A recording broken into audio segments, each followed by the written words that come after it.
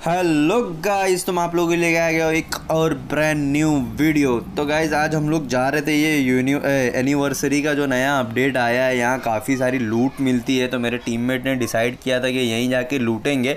But उसने ये नहीं बोला था कि भैया, यहाँ बंदे भी काफ़ी आते हैं तो यहाँ जल्दी से हम लोग लूट वूट करते हैं, क्योंकि यहाँ ऑलरेडी और भी स्कॉड्स आई होती है। तो यहाँ तो फ़िलहाल मुझे यार गन के नाम पे कार 98 एंड शॉर्ट गन्स वगैरह मिलते हैं तो यार मेरी यहाँ थोड़ी फट सी जाती है कि यार सामने वाला एआर वाला होगा या ए के वाला होगा तो यार मार के मुझे ख़त्म कर देगा। बट यहाँ मेरी नसीब बड़ी अच्छी रहती है, मुझे यहाँ मिल जाती है भैया उज़ी तो जैसी उज़ी मिलती है यार तो मुझे एक बंदा भी मिल जाता है। एक्चुअली वो मेरे बंदे पर फायर लेते रहता है और इधर उधर बेचारा नहीं देख पाता है, जिसकी वजह से उसको नॉक होना पड़ता है।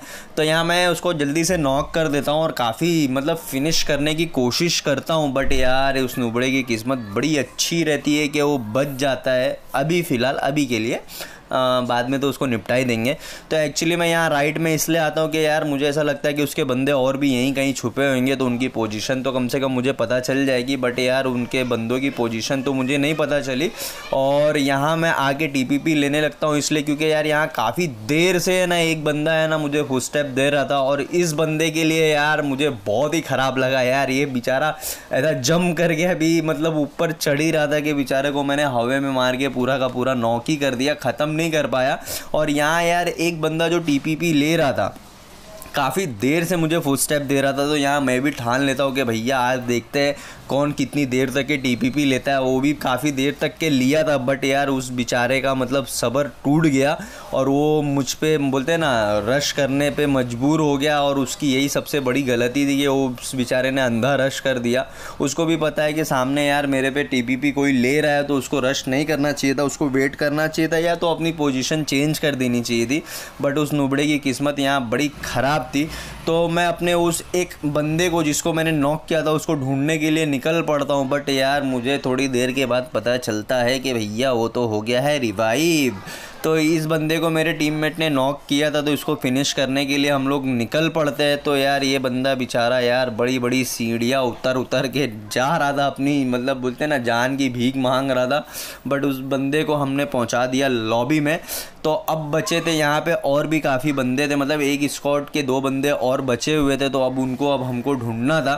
तो मुझे, जिसको मैंने पहले नॉक किया था, शायद आई थिंक ये वही था, मैंने नाम पढ़ा नहीं था तो उसको जल्दी से मार के मैं यहाँ नॉक कर देता हूँ और मेरा बंदा फिनिश भी कर देता है। तो अब भैया, अब मैं यहाँ लूट उट करते रहता हूँ तो उतने में यार ये जो बंदे का मैंने सर देखा ना, मेरी जो फटी है यहाँ पे भाई पूछो ना, क्या ही फटी है यार, फटी क्या है? फट गई है पूरी की पूरी। मुझे ऐसा लगा कि यार ये मार देगा क्योंकि मैं पूरा ओपन में था। तो अब ये बंदा काफ़ी काफ़ी ढीठ था मतलब बाहर निकल नहीं रहा था तो तुम्हारे भाई ने यहाँ पूरा लेफ़्ट से फ्लैंग मारा। हाँ भाई लेफ़्ट से।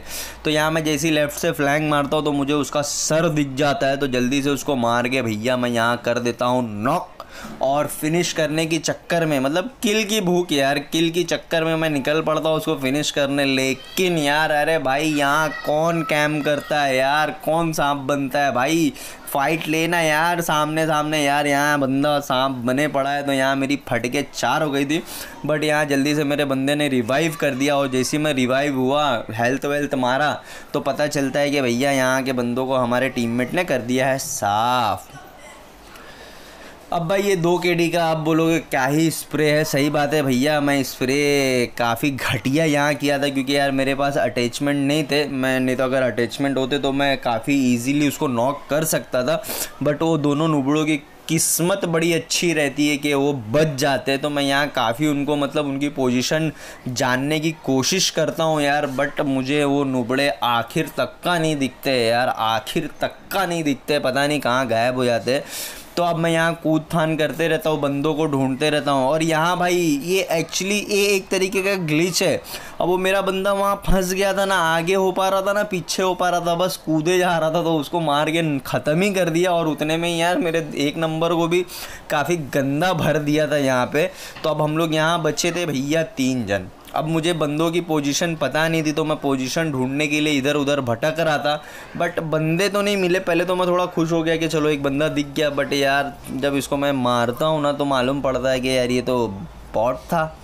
तो अब इस बॉट को मारने के बाद भैया, अब मुझे मतलब बोलते हैं ना, एक बंदा काफ़ी स्वैग में यार, एक स्कॉट का अकेला बंदा यार हम पे रश करने आ जाता है, पता नहीं यार कौन से नशे किया था यार, अब मुझे भी नहीं पता। तो यहाँ मैं उसको जैसे ही ड्रॉप शॉट मारता हूँ तो भैया वो थोड़ा पैनिक सा हो जाता है और वो गलती कर बैठता है, वो कूद के लेफ़्ट साइड भागने लगता है, जिसकी वजह से अगर वो वहाँ बैठा होता ना तो वो मुझे ईजीली मार सकता था बट वो थोड़ा ज़्यादा ही पैनिक हो गया था। तो मैं उसके बाकी के बंदों को ढूँढने के लिए यहाँ आता हूँ कि सोचता हूँ कोई ना कोई दिख जाएगा बट हमारी नोबड़ी किस्मत, बंदे तो नहीं दिखते, ये बॉट दिख जाता तो बॉट को मार के जल्दी से किल उठा लेता हूँ, क्योंकि भैया हमको बनाना था कंटेंट और कंटेंट बनाने के लिए चाहिए किल अब यहाँ पे भाई मैं हवे में उड़ते उड़ते मैंने डिसाइड किया कि यार अब हम जाएँगे रोज़ोक क्योंकि यार हमारे हमको चाहिए किल और किल की चक्कर में तो पत, पता ही है यार अच्छे अच्छे यूट्यूबर क्या क्या करते हैं। तो यहाँ मैं पूरा रोज़ोक ढूँढने के बाद यार मुझे कोई दिखा नहीं यहाँ तो मैं यहाँ डिसाइड करता हूँ कि चलो अब हम बंदे ढूँढने निकलेंगे। तो वैसे ही हम पे फायर आता है तो थोड़ी देर के लिए यार मेरे मन में लड्डू फूटने लगता है कि चलो यार बंदे आ गए एक दो किल यहाँ भी निकाल लेंगे। लेकिन यार थोड़ी देर के बाद पता चलता है कि भैया ये भी एक बॉट था। तो गाइज़ यार, आप लोग ये मत बोलना कि यार खाली बॉट्स मारता है, क्योंकि यार देखो अच्छे अच्छे यूट्यूबर के भी वीडियो देखो, आजकल बॉट्स काफ़ी आते हैं तो इसमें अब हमारी गलती नहीं है, वो पबजी वालों को जाके बोलो। तो अब यहाँ हम लोग अपार्टमेंट्स में आ जाते हैं, क्योंकि यार मेरा जो तीन नंबर का बंदा था, वो किसी से फ़ाइट ले रहा था बट वो भी नूबड़ा कोई स्कॉड का अकेला ही बंदा वहाँ घूम रहा था तो उसको मार के उसने फिनिश कर दिया। तो अब हम लोग बंदे ढूँढने के लिए आ जाते तो मुझे इतना गट फीलिंग था कि भाई ये स्कॉड हाउस में है ना, बंदे ज़रूर होंगे बट यार मुझे ये नहीं पता था कि यहाँ एक नहीं, दो नहीं तीन तीन स्कॉड होएँगे। तो यहाँ एक्चुअली यार काफ़ी, बोलते ना, भारी वाला यहाँ फाइट हुआ है, भारी वाला ये फाइट हुआ है कि हम लोग बम, मौली लेन देन करना यहाँ शुरू कर दिए थे। लेन देन मतलब वो उधर से फेंक रहा, हम इधर से फेंक रहे बट यार फ़ायदा कुछ भी नहीं हो रहा है, ना हमारे टीममेट मतलब नॉक हो रहे, ना उसके टीममेट नॉक हो रहे। तो यहाँ हम लोग काफ़ी मौली फेंकते एक दूसरे के ऊपर, काफ़ी बम्स नेट्स वगैरह फेंकते एक दूसरे के ऊपर यार बट ना उसकी किस्मत अच्छी थी, ना हमारी किस्मत अच्छी थी, ना उसका कोई बंदा फूट रहा था कि हम इसको मतलब रश करें, ना हमारा कोई बंदा फूट रहा था कि वो हमारे पे रश करे। तो एक्चुअली यहाँ मैं टीपीपी लेते रहता तो मुझे यहाँ उसका एक का मतलब बोलते ना, यहाँ एक बंदा मुझे ऐसा लगता है कि ऊपर बैठा हुआ मतलब टीपीपी वो भी ले रहा है तो मुझे यार यहाँ किस्मत से उसका मतलब थोड़ा सा हाथ दिखता है बट यार हाथ के साथ साथ वो मुझे मौली भी दिख जाता है कि उसने मेरे पे मौली फेंक दिया है। तो मैं यहाँ बचने के लिए भैया जब यहाँ लेफ़्ट साइड आता हूँ तो यार उसका बंदा पता नहीं कहाँ से नीचे नुबड़ा कैम कर रहा था और मार के यहाँ मेरी फाड़ के चार कर दिया था। तो मुझे यहाँ तो ऐसा थोड़ी देर के लिए लग गया था कि भैया अब हमारा कंटेंट गया भाड़ में, लेकिन यार मेरी नसीब बड़ी अच्छी थी कि यहाँ मैं बच गया। और यहाँ भाई ये जो स्कॉड ने रश की है ना, वो सामने स्कॉड हाउस वाले नहीं, ये कोई दूसरे, दूसरी स्कॉड है जो हम पे रश कर रही है। तो मैं फटक से उसके एक बंदे को ओपन में ही नॉक कर देता हूँ, लेकिन जब तक ये यार उसके दो बंदे हम पे पहले ही मतलब पुश कर चुके होते, चढ़ चुके होते तो अब यहाँ यार उन लोग काफ़ी कोशिश करते हो। तो अच्छा हुआ, उनकी नसीब अच्छी थी हमारी सॉरी हमारी नसीब अच्छी थी कि उनके पास नेट्स या मॉली वगैरह नहीं थे, जिसकी वजह से हम लोग अभी तक के बचे हुए थे। तो यहाँ मेरे एक बंदे को जल्दी नॉक कर देता है तो यहाँ तुम्हारे भाई की है ना, सनक जाती है। अब बोलता है, बोले, भैया, अब तो तुम्हारा भाई घुस के मारेगा। और घुस के मतलब सही में मैंने घुस के ही मार दिया यार। वहाँ तो मेरी थोड़ी नसीब अच्छी थी कि उसका एक ही बंदा था, एक बंदे को रिवाइव दे रहा था ये। तो यहाँ जल्दी से मार के इसके स्कॉड को वाइप कर दिया हम लोगों ने। तो यहाँ भाई मैं जैसे ही आता हूँ, एक नंबर को रिवाइव देने तो पता चलता है कि भैया एक और स्कॉड के बंदों ने मतलब हम पे रश कर दिया है। तो मेरे टीममेट ने एक को नॉक कर दिया था और फुट स्टेप से मुझे पता चल गया था कि यार ये बंदा यहीं कहीं घूम रहा है। तो वापस मैं यहाँ रिलोड करके कूद जाता हूँ। मतलब सीधा कूद ही जाता हूँ यार, मुझे भी नहीं पता बंदों की पोजीशन क्या है। बट वो नुबड़ा अपने स्क्वाड का आखिरी बंदा था तो उसको भी मार के हम लोग यहाँ जल्दी से ख़त्म कर देते। और ख़त्म करने के बाद भाई तुम्हारे भाई को मिल जाती है A W M the papa gun तो अब यार सामने से शॉट्स आ रहे थे, और भाई तुम्हारे पास ए डब्ल्यू एम है, और कोई पीक लेवे तो ज़ाहिर सी बात है, उसका टकला तो फूटेगा ही। अब तुम्हारे भाई को यहाँ किल की भूख कितनी आ गई थी कि यार एंगल वेंगल बनाने के लिए चढ़ गया छत के ऊपर। बट तुम्हारे भाई को कोई एंगल नहीं मिल रहा था तो यहाँ मैंने डिसाइड किया कि पूरा लेफ़्ट से। हाँ भाई, सही सुन रहे हो, पूरा लेफ़्ट से फ्लैंक मार के यार किल उठाने के लिए अकेला घुस जाएगा। और सच में मैं अकेला ही घुस गया, मुझे थोड़ा उम्मीद था कि यार मेरे टीममेट मुझे थोड़ा मतलब कवर देंगे, आएँगे पीछे, लेकिन कोई नुबड़ा आया नहीं। तो यहाँ मैं स्कोप इन करके बंदों को देखते रहता हूँ, जैसे ही एक को देखता हूँ तो मेरे बंदे ने उसको नॉक कर दिया यार। तो अब मुझे यार उस पर मतलब शॉट्स लेता हूँ कि उसको कन्फर्म कर दो रिवाइव ना हो। तो उतने में ही भैया मुझे उसका दूसरा बंदा भी दिख जाता है। तो और क्या था? दूसरा बंदा दिखा तो फोड़ फाड़ के उसको भी हमने नॉक कर दिया। और यहाँ से मैं जल्दी जल्दी क्लोजिंग करना शुरू कर देता हूँ क्योंकि यार ये पूरा स्कॉट था और मुझे उन बंदों की मतलब पोजिशन पता नहीं थी कि और बंदे उसके है तो है कहाँ।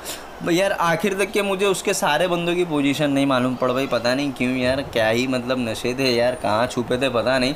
तो अब यहाँ मुझे मतलब बंदे दिख नहीं रहे थे तो अब मुझे उनकी पोजीशन जाननी थी तो मैं यहाँ कूदने लगता हूँ। कूदने से ये फ़ायदा होता है कि भाई, जो सांप वहाँ पर रहते हैं, वो दिख जाते हैं। तो यहाँ वही मेरे साथ भी हुआ, मैं यहाँ एक दो बार जम करता हूँ तो मैं, मुझे उस बंदे की पोजिशन मालूम पड़ जाती है। तो जल्दी से उसको मैं मार के नॉक कर देता हूँ फिनिश तो नहीं करता क्योंकि यार ये जोन बाबा बहुत छोटा हो गया था, और ये जोन काफ़ी मतलब डैमेज देता है। तो यहाँ मतलब बोलते हैं ना ऑलमोस्ट मैं जोन के बाहर मरने ही वाला था, लेकिन यार यहाँ मेरी नसीब थोड़ी अच्छी थी वन एच पे बच गया। तो यहाँ जल्दी से हेल्थ वेल्थ मारते फिर मैं अपने बंदों को बोलता हूँ, चलो भैया, अब तीन बंदों को ढूँढने निकल पड़ते हैं। तो अब भैया वो तो हमको बोलते ना मतलब रास्ते में ही मिल गए। उन लोग भी पता नहीं कहाँ घूम रहे थे, फिर रहे थे, मज़े कर रहे थे। तो वो तीनों के तीनों एक ही स्कॉट के बंदे थे। ये काफ़ी अच्छी बात थी, नहीं तो यार क्या होता है अलग अलग होते हैं तो यार काफ़ी प्रॉब्लम सी हो जाती है। तो इस गीली सूट वाले को मैं काफ़ी डैमेज देता हूँ यार, काफ़ी कोशिश करता हूँ नॉक करने की बट हमारी नुबड़ी किस्मत थी यार, नहीं कर पाया। तो अब ये मुझे उसका दूसरा बंदा भी दिखता है तो उसको भी नॉक करने की मैं काफ़ी कोशिश करता हूँ। तो अब हमें पता चल जाता है कि भैया अब सारी की सारी स्क्वाड हो, जो भी बंदे हैं, वो घर के पीछे चले गए हैं। अब उस पर एंगल बनाने के लिए मैं यहाँ डिसाइड करता हूँ कि मैं पूरा राइट से फ्लैंग मारता हूँ और मैं उनको, मेरे बाकी टीम को बोलता हूँ कि भाई मैं तुम लोगों को कवर देता हूँ, तुम लोग स्लो स्लो क्लोज इन करना शुरू कर दो। तो अब मैं यहाँ से मतलब एंगल बनाने की कोशिश करता हूँ तो मुझे एंगल मिल जाता है, उन लोग नोबड़े सब एक ही जगह बैठे रहते तो मैं यहाँ जल्दी से स्कोपिन करता हूँ और ये गीली सूट वाले को पकड़ के बेचारे को नॉक कर देता हूँ। उतने में ही हमारा तीन नंबर भैया घुस जाता है, जैसे ही देखता है एक बंदा नॉक है तो जल्दी से क्लोज इन करना शुरू कर देता है। और यहाँ मैं उन लोगों को बोलता हूँ, भाई मैं कवर दे रहा हूँ, तुम लोग घुस जाओ, तुम लोग घुस जाओ। तो उन लोग घुस जाते हैं और इस तीन नंबर ने क्या ही बजाया है भाई, अकेला ही बोलते हैं ना वन वी टू कर दिया इसने।